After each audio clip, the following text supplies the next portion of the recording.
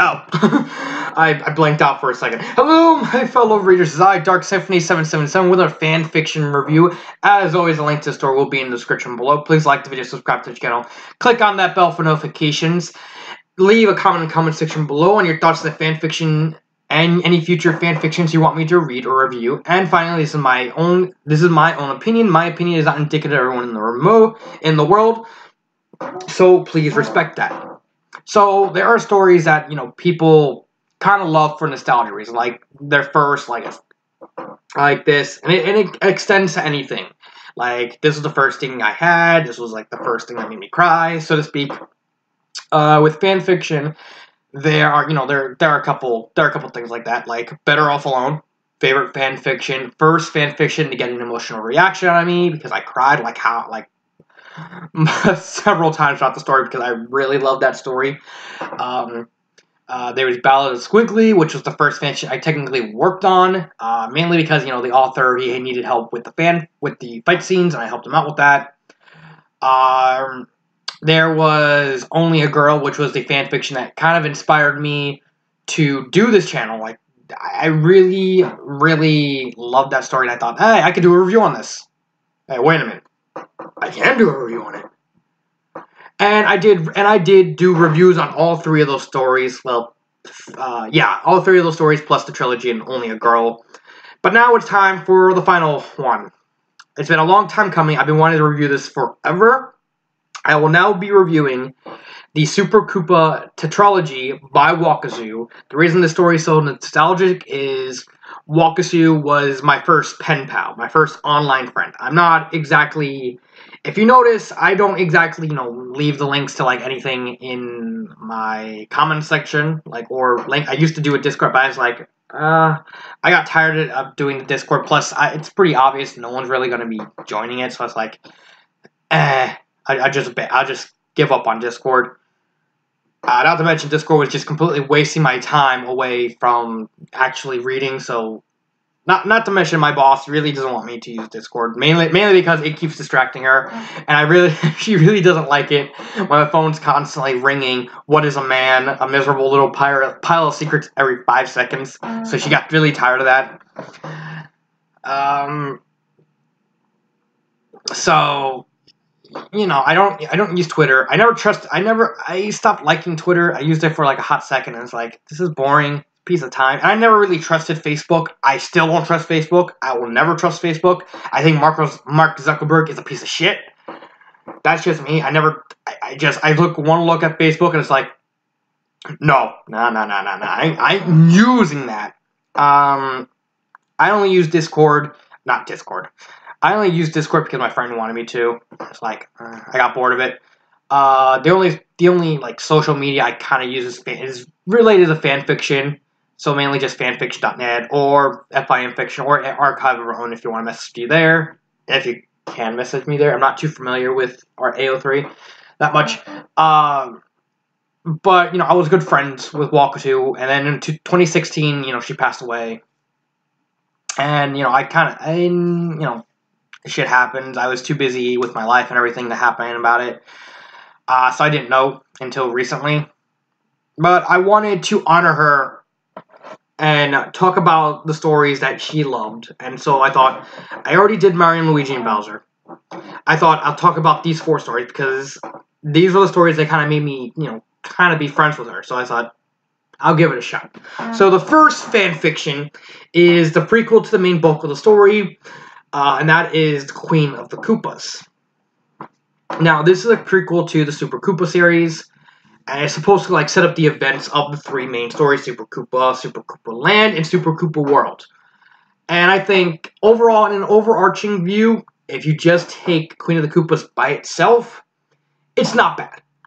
But if you take it in context to the other three stories, like if you mash them all four together, then you kind of got it. Then it kind of starts cracking. Not completely like breaking. It doesn't become a bad story, but it shows that it hasn't aged as well as the Super Koopa stories. So let's get started. So the plot starts with a younger Bowser. Not King Bowser, but Prince Bowser. because he he's still young. He's like he hasn't and he's not become an adult yet. Uh, and he's getting tired of all these marriage proposals by Kamek saying, "You must marry her, marry her, marry her." No, it's like, no, I want a Dragon Koopa queen. I want someone who I can I can be toe to toe with and, and fight and do stuff with Dragon Koopa stuff. And so he he goes to the abandoned ruins of his father's castle uh, King Morton Koopa, and then he runs into this lady named Bowzelda Parakarry. Now, Bowzelda Parakarry is a female Dragon Koopa, and Bowser kind of falls in love with her. He's like, I love you. Marry me. And she's like, no. And so Bowser kind of becomes friends and so we kind of get this whole romance period where Bowser's trying to woo Bowselda, and eventually she kind of gets won over. Uh, she's revealed to have been a thief that wants to kill Bowser because her fa- because Bowser's father staged a massive coup, uh, uniting all the clans uh, in the Dark Clans, but ruining the other royals' lives. So it's like I'm the undisputed king of Darkland. Do what I say. Oh, and you you lost all your titles and, and, and riches and stuff. But do what I say. And you know she was bitter about that over the fact you know her parents you know they they had their lives ruined, and by extension they ruined her life because we, we want to be spoiled, and so she became a thief and you know. And Kamek didn't really trust her because where she come from? Why is she doing this? She wants to kill you. And Bowser's like, nah, you just gotta warm up with her. And so Bowser finally, you know, falls in love with Bowser and starts working under him. You know, you know, Bowser's like, I want to, you know, I want her to be my advisor, and like, Grr. and then Bowser sends Kamek away because Kamek, you know, Kamek is is cramping Bowser's styles. Like, I can't deal with this anymore. Go away. Okay. and sends him off to a to lead a battle against Sarasaland. Sarasaland being, you know, Daisy's kingdom. Uh, and over these mountains called the Koopalingas. And so Bowser, you know, Kamek's trying to communicate and also sends Kammy Koopa over to kind of watch him. But Kammy's like, I like you. and she's like, I like you too. Let's be friends. Okay, Bowser. I'm quirky like that. Kammy is quirky.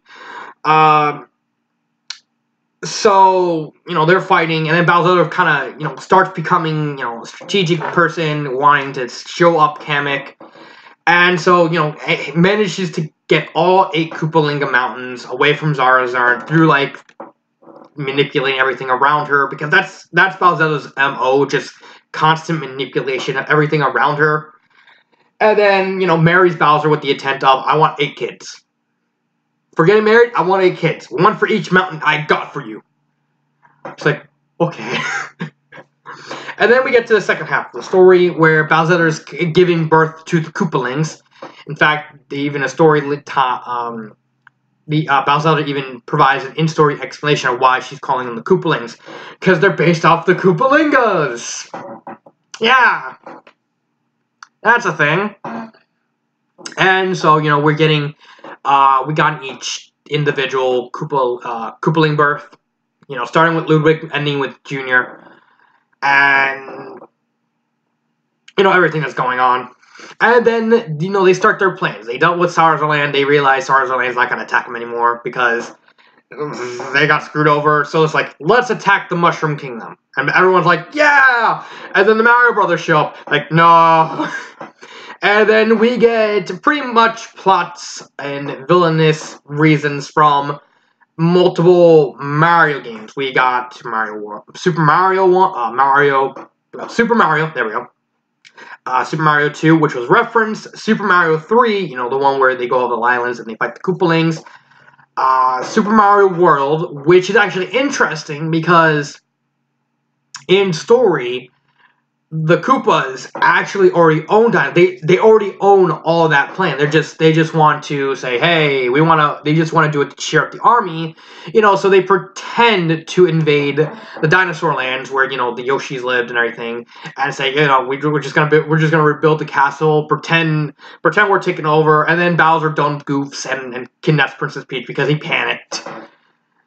Uh, and so Mario and Luigi show up and just kick everyone's ass again. And then Super Mario 64, where we get to the crux of the themes. And I didn't really. Uh, I'll talk about that a little bit.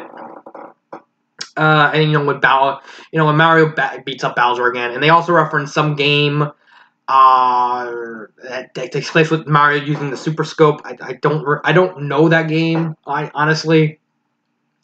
And mm-hmm. so Bowser is getting furious over the fact that you know Mario, no matter what happens, keeps getting one up on the ba- on Bowser. And then during the final battle in Super Mario 64, when Bowser's going to breathe fire, he breathes coins instead, and Bowser gets pissed, revealing, you know, kind of telling everyone, it's like, it's not Mario that's winning, it's the stars that are making him win. And so she's cursing the star spirits for constantly rigging everything against Bowser and making sure Mario wins no matter what. So we kind of got a little wrinkle in the whole thing. So after uh, Mario 64, Bow- uh, Bowser gives birth to uh, to Bowser Jr. and then goes off on a mission because she kind of got a hint over uh, some way she can get rid of Mar- Mario and Luigi, and so she comes across this portal. She, you know, that she accidentally activates because she actually has an heirloom from her family, which is actually opens up the portal, and so that causes her to kind of go into the real world, i.e., Earth. And Bowser's kind of kind of mourns for her by con- by kind of uh, giving like forgetting about her, like throws away all her stuff in, in a little corner.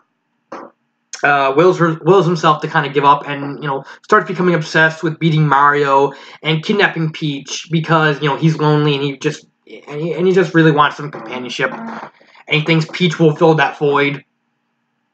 And it's all framed by this kind of act at the beginning, the middle, and the end where uh, Bowser, you know, kidnaps Peach again, and then teases her over the events of Super Paper Mario with the marriage that Count Bleck did, and then Ludwig calling out her father, calling out his father, saying, "You gotta stop that! Just stop that! Just stop that! What would what what would what would Martha think? What would Martha think?" It's like, what would she? I don't know. And Peach like confused, and then Ludwig gets hurt, and Bowser and Peach uh, you know, try to check up on him, but Mario Brothers think, you know, Bowser's going after Peach again, and then they, you know, they kind of hurt him. And that's the overall plot. Like I said, if you take it, if you take the story in isolation, it's not a bad plot, but if you connect this with the other three stories in the trilogy, in the tetralogy, then that's where you get to see the cracks, and that is the idea of themes. Usually, when it comes to a prequel, the uh, the main idea for the prequel is to set up established themes that are going to appear or that are already going that have already been appeared and try and connect them and you know give us a starting point. And there are a couple of, of themes that you know that this story introduces. First off, uh, consequences of your actions will you know come back to haunt you.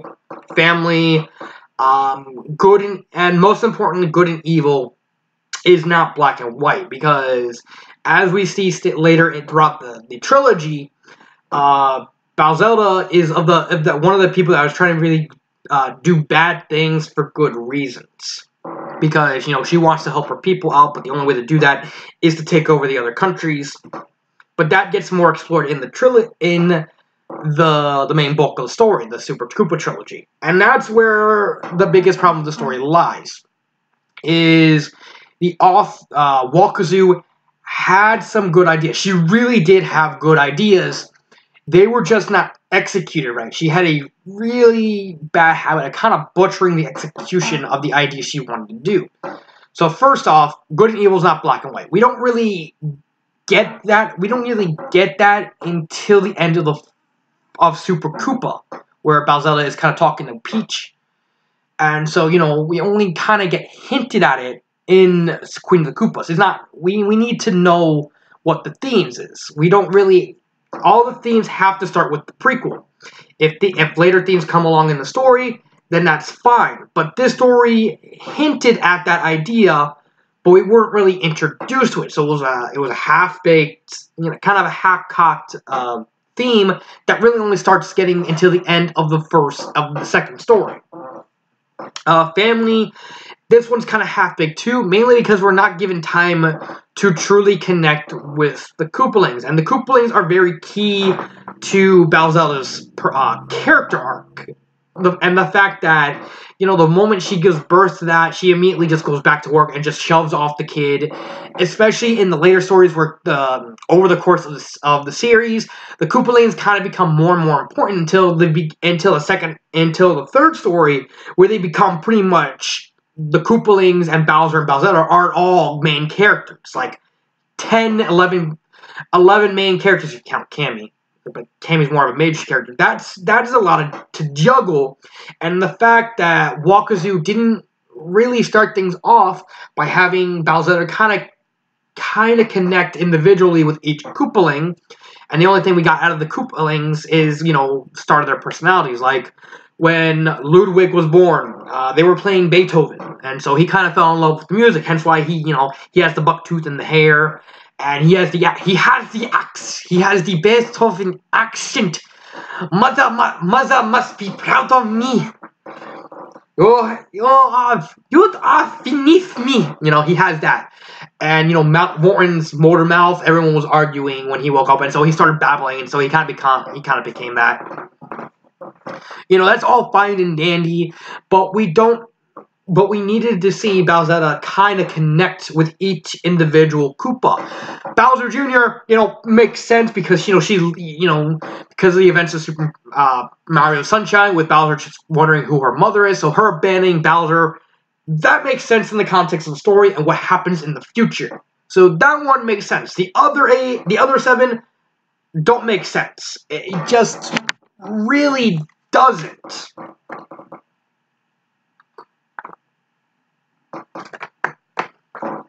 And finally, um, good evil not malleable, family. Oh, and uh, consequences coming back to haunt you. This one is the only one that kind of makes sense because they continuously ignored Cam- uh, Kamek throughout the story, and that kind of causes a feedback loop over. And the main overarching theme is this theme, and it kind of starts off at least on a good enough note that I'm not going to bash one. The other two themes I'm going to bash because they just they're just really bad if you take into context the rest of the series. Uh, because throughout the story, they constantly shove Kamek out of their minds because like ah he'll he'll wise up, he'll he'll know. He'll he'll he'll turn a new leaf, he'll we'll just ignore him. And in the second story, Super Koopa, that comes back to haunt them really bad, and constantly kind of comes back to haunt, continues to come back to haunt them as the story goes, as each story goes along um, especially you know as you know their consequences of you know doing these obviously bad things constantly comes back to haunt them with the Mario Brothers being introduced and the Star Spirits getting involved and manipulating the events. I thought that theme was set up perfectly. The other two themes, they're not set up good enough. I don't really, they're just not really good enough. Characters. We have four characters. We have Bowsetta, Bowser, Kammy, and Kamek. Kamek is a douchebag. He, he his character is basically he thinks the world of Morton Koopa. He thinks the world of Bowser's father and constantly compares everything he does and everything Bowser does to what would Morton do. Like if and he's constantly comparing Bowser. You got to be more like your father. What what your father think? You got to be exactly like your father. And and hence why this whole plot kicks off because Bowser's just had it and I said, no, I don't want to be like my father. I want to be Bowser. I don't want to be Morton the second. I want to be Bowser. And so, you know, the whole plot kicks off with Bowser just having just just having enough of Kamek's bullshit. Uh, but Kamek is done at least decently well. I have no problems with Kamek. Um, Kamek is, you know, throughout the entire story, she's he's constantly trying to tell Bowser, said, "You gotta do this. Your ba- your father wouldn't, you know, wouldn't trust her. Your ba- your father is like," and Bowser had to keep refu- rebutting her, him, because I, I, I keep forgetting that Kamek's the guy. Uh-huh. Uh, it's like, no, you shut up. Just stop it. Just stop it. Uh-huh. And and Kamek's like, fine, fine. Uh-huh. And you know that that starts the theme of all their consequences come back to bite them. Kammy, Kammy is a cool in this story is the cool old lady. She she basically was hired by Kamek to keep an eye on him. I don't trust him. She she may ruin Bowser's life and kill him. And Kammy's like, all right. And so and so she goes to Bowser's castle. She she sees Bowselda and she's like, I like you. I like you a lot. Your wretchedness. I, I love, and Kammy's basically this the, the the stereotypical cool grandma that you know may seem embarrassing on first glance, but then she starts doing all these insanely charitable stuff. It's like you have a cool old grandma. It's like, uh-huh,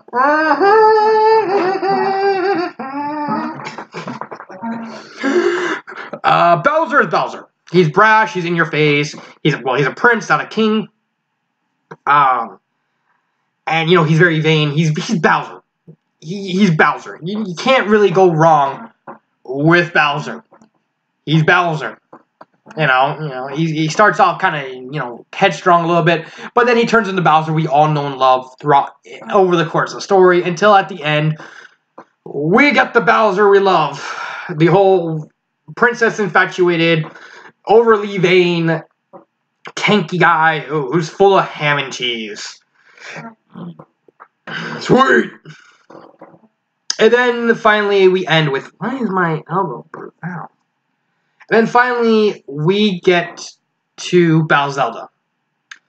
Bowzelda is an anomaly. She's very much a weird character. She's everything. In some ways, she's a Bowser's copy, but in other ways, she's Bowser's opposite. So, like, you know, Bra- Bowser is brash, in your face, very vain, vain and loves the spotlight. Bowzelda is over is cautious. She she plans everything out. She's not exactly a fan of, of public speaking. She likes to be in the foreground. She's also incredibly smart, while Bowser's, you know, he, he comes up with like kind of dumb stuff. Uh, and she's not very vain. Bowser's, you know, very like likes to prove that he, you know, he better than. But at the end of the day, he he's kind of he kind of has this existential crisis that he doesn't think that he he thinks he does that he's better than everyone, but he don't. But he knows in practice he doesn't think he will be better. While Bowser's the opposite. She doesn't. She won't tell anyone she's better than better than her because she knows she's better than them. And so, you know, it kind of, she kind of has, you know, these opposite attract sort of thing with Bowser. But at the same time, they're both Koopas. They both love violence. They both love over the top theatrics. Uh, they're both very headstrong and stubborn. Uh, they both love fire. They both like, you know, they both love a lot of the same things. They both love their family. So, you know, they have same, they have same things, but they have the opposite. However, if you look at Balzetta over the course of the story, that's when you get that she's a very weird character. At points throughout not only this story but also the entire uh, the entire series, Wakazu it looks like Wakazu doesn't truly know what to do with her, which is kind of a shame because she is a very good character. It's just she was she came this gray area where you don't know at that she kind of keeps flip flopping between whether she's a Mary Sue or whether not she's not a Mary Sue. That's the really weird part about her character is the fact she constantly flip flops. She constantly changes, becomes static for a little bit, becomes a Mary Sue, and then she gets through like a minor character development. It's like okay, she's out of she's not a Mary Sue anymore. But then it kind of it keeps flipping, uh, flipping back and forth. So it makes it really, really hard to tell what was the whole what her overall arching character is besides I just want to make my kids happy.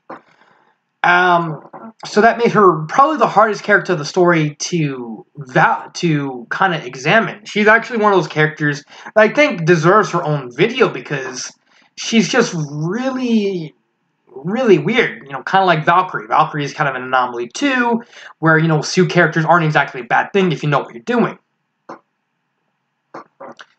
Uh, but Bowsetta, it, it, but overall, you know, she she's very gray. But in this in this story, she starts out as a very obvious Mary Sue, but then over the course of the story, she kind of goes through a lot of character development of her really, really genuinely caring about her family. Granted, that's kind of mitigated by the fact that we don't really see a lot of time put into caring about her family, more about taking over everything.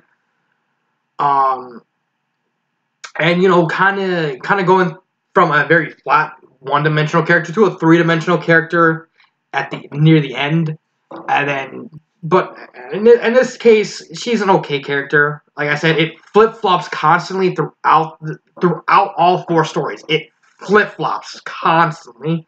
So it's really, really hard to get an accurate gaze on her character. I'm probably gonna have to go bit by bit and story by story over, you know, what what's gonna be what's done with her throughout the series. So in this story, she starts out as a one-dimensional, very revenge-driven uh, character. You know, she wants to kill Bowser for kind of ruining her fan her family's life, and then by extension, ruining her life. Uh, getting mocked for being ripped by being seen as a ripoff of, of Bowser, despite the fact she points out she's technically a year older than Bowser. Uh, and then she, this is when we start the Mary Sue stuff. You know, she's constantly being Bowser. She's constantly being smarter than Bowser. She's smart, outsmarting everyone. She's constantly manipulating everything to go exactly how she wants it. And while you know there are char- there are people like that in real life, and those are characters. The fact that she's kind of doing it a little too easily, and she doesn't have any flaws, kind of makes her you know a Mary Sue. But then the second half, once Mario and Luigi shows up, that's when we get her to become three dimensional. She becomes um, she becomes stubborn. She she shows lots of weakness. She shows that she really does care about her family. She she starts making mistakes. Uh, she inadvertently puts her family in danger by doing this.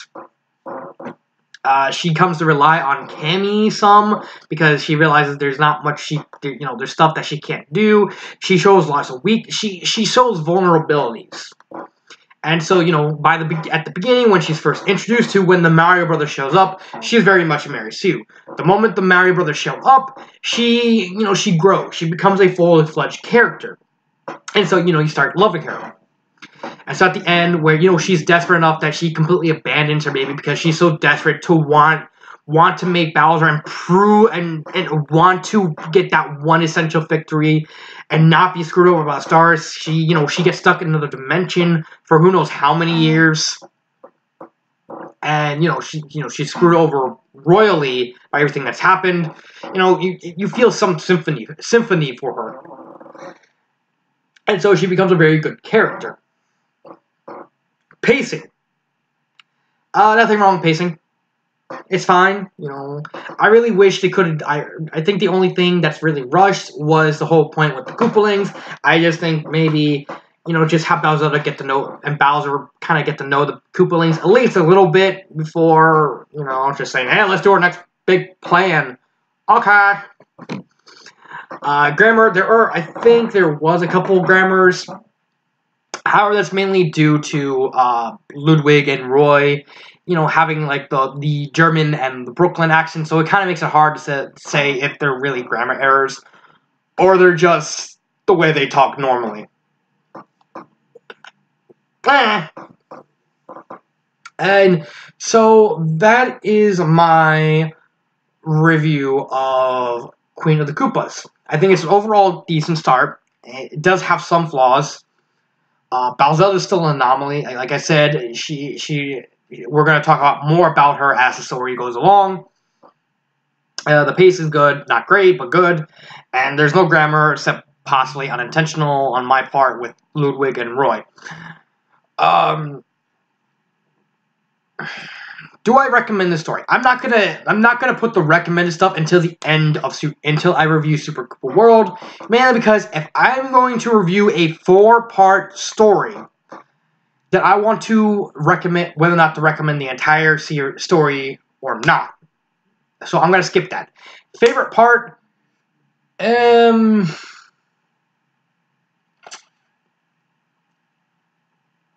That's one hard to do. Uh, I would have to say probably more how Morton was born with like I really love how they what what Wakazu did with Morton, like how he was born, like you know Bowser's like Bowser is kind of giving birth, uh, giving birth to the next egg after Morton, and Bowser's like keeping an eye on the egg because he realizes like at the same time where she start you know she's starting to gain contractions, he realizes like the egg is cracking. He's like, oh no, I have to, I have to show her, I have to show my wife the egg. But, but sir, but she's giving, she's giving birth right now. It's like, and so Barge and, and like all the other Koopalings born so far are are um you know watching her and he spent like uh before the hand he had a like little get uh daughter father daughter speak with Wendy. Wendy was the only uh Koopaling that kind of had some development, which is kind of sad. Alright. Uh, and so, you know, he's trying to, Bowser's trying to show Bowser his wife. So, look, the egg's cracking, the egg's cracking. And he's like, ah, Bowser, stop it, I'm gonna kill you. and then, and then all the other Koopalings, they start arguing over some name things, and Wendy's like, Daddy, you're not paying attention to me. And like, and so every all this stuff's going around about, and like everyone's just arguing, and then Little Morton Jr. Kind of shows up, and he's like, and he's like looking at all all the arguing, all the yelling, and he goes. and he starts mumbling. Hence why you know he has. If you see it throughout the stories, he has like a fast talking thing. Like I said, all the stories. Uh, we're, we're introduced to their quirks like very early. Um, so that way, you know, you, you kind of get to introduce to each one and, you know, what their personality is going to be going on like going forward. But I just like Morton because that one was hilarious. And that one was actually entertaining. Um, what would I change? Honestly, I think you'd. Uh, I can't really do much because you know Wakazoo's passed away. Maybe if someone adopts the stories and kind of reworks them, uh, the themes need to be better defined in the story. Uh, and Bowser needs to have a little more time with Bowser and Bowser needs a little more time with the Koopalings, enough to get at least get the baseline of their character, like what they're gonna be, what they're to be like and everything, like what Bowser did with Wendy, you know, like stuff like that. That would be helpful. So that is my review on Queen of the Koopas. The next story I'm going to be reviewing is the first story in the Super Koopa trilogy, Super Koopa. Super Koopa. I just realized that sound that sounds pretty cool when you when you see when you say it like this. Super Koopa. Ba da ba ba ba. Super Koopa. Uh, so it is. So I wish you a happy Halloween. I will be posting a couple videos tomorrow on Halloween. This has been Dark Symphony 777, and cut.